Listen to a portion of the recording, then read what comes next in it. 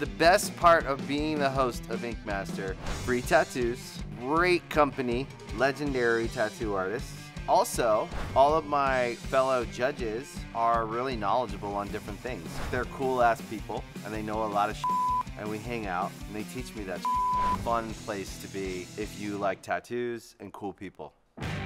This season, fans can expect me to be even more charming, fun, inquisitive, but also knowledgeable and experienced.